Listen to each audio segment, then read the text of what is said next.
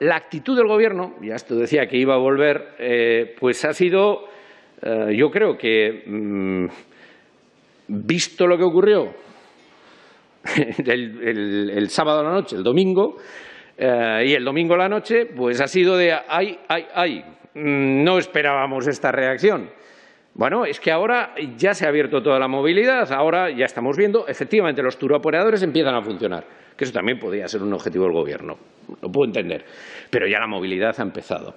Ya el control de la diseminación del virus es muchísimo más difícil. Claro que hay que correr con las vacunas, pero oigan, tal y como estamos ahora de porcentaje, ¿no hubiera sido mejor aguantar, limitar eh, en los lugares que fuera necesario, un poco eh, con las medidas que ya estábamos sosteniendo? Pues nosotros pensamos que sí. Y el Gobierno en estos momentos tiene dudas, porque si no, no se entiende el sí, espera que ahora cambie la legislación, que no, eh, que un estado de alarma para algunos y quién, pero espera que no.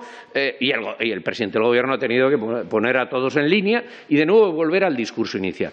Yo creo que se ha cometido un error, ojalá me equivoque y ojalá vaya todo bien eh, dentro de 15 días, pero desde luego lo que ya es inevitable es el caos jurídico que para esta semana y la siguiente eh, se ha causado innecesariamente. E insisto, seguir manteniendo el estado de alarma no significaba que en todos los lugares se tuviera que seguir manteniendo una limitación de, movilidad o un eh, toque de queda. Pero sí que si lo necesitaban las comunidades autónomas hubieran podido disponer de ello. Esa es nuestra posición.